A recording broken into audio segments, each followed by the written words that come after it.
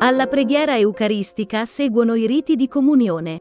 Il cuore di questo terzo momento della liturgia eucaristica è la frazione del pane, un gesto compiuto da Gesù stesso nell'ultima cena e ritenuto così importante al punto che, nei primi secoli del cristianesimo, con esso si indicava l'intera celebrazione della messa.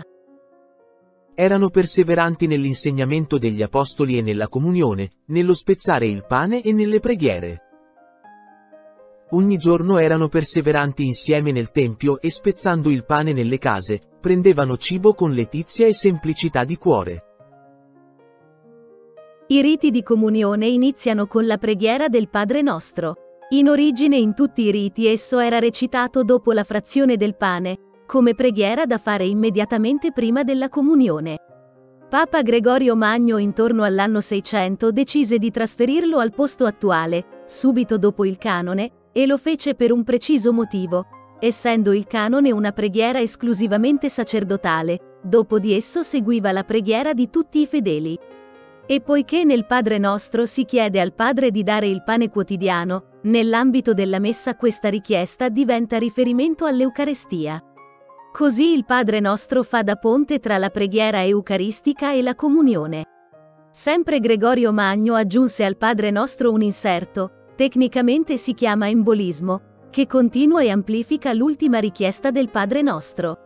In esso si chiede al Padre la liberazione dal male e il dono della pace.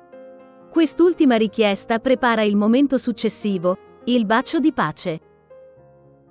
Come abbiamo già detto, il bacio di pace in origine era scambiato alla fine della liturgia della parola, e prima della preparazione dei doni, come attuazione del comando di Gesù.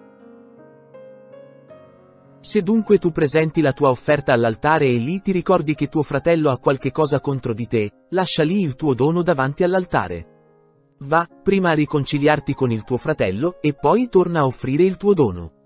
Papa Innocenzo I spostò questo rito prima della comunione, come preparazione immediata all'incontro con Gesù Eucaristico.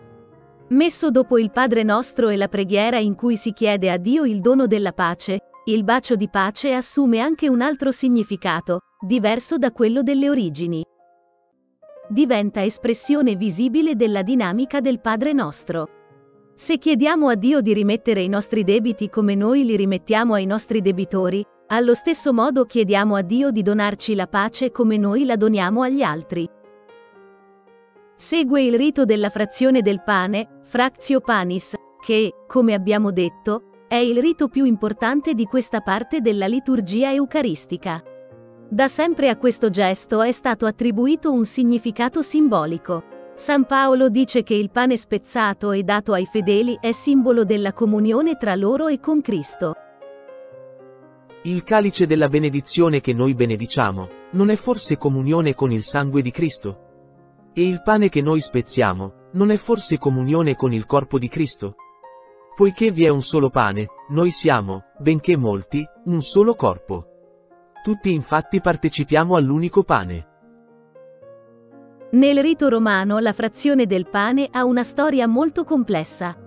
Secondo l'Ordo Romanus, risalente all'VIII secolo, il Papa e i sacerdoti spezzavano i pani, che erano di misura abbastanza grande, in tanti pezzi di forma irregolare e li distribuivano ai fedeli. Alcuni pezzi venivano conservati per la comunione agli ammalati, un frammento veniva conservato per la messa successiva mentre il frammento conservato nella messa precedente veniva messo nel calice. In questo modo si voleva sottolineare il collegamento tra messa e messa.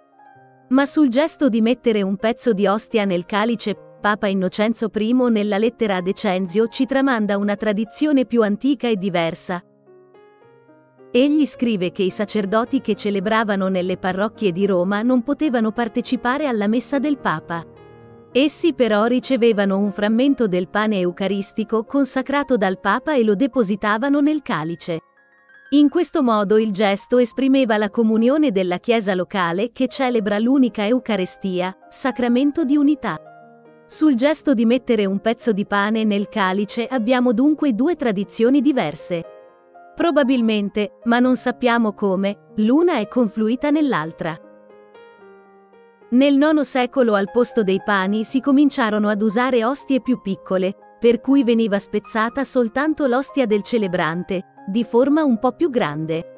Le parti di quest'ostia non venivano distribuite ai fedeli ma venivano consumate soltanto dal celebrante.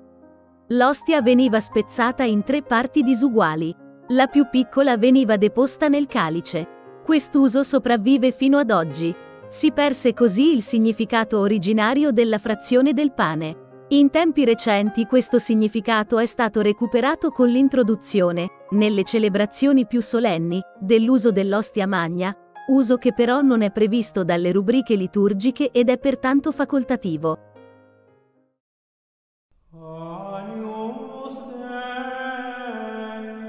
Mentre avviene la frazione del pane si recita o si canta l'agnello di Dio. A introdurlo nella liturgia romana fu Papa Sergio I che, essendo siriano, probabilmente lo importò dall'Oriente.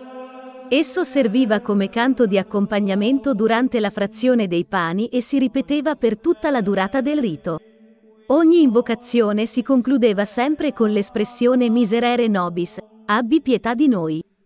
Quando i pani furono sostituiti dalle ostie, le invocazioni furono ridotte a tre, ed essendo il rito della frazione del pane diventato molto più breve, l'agnello di Dio perse la sua funzione di accompagnamento del rito, divenendo un canto come gli altri.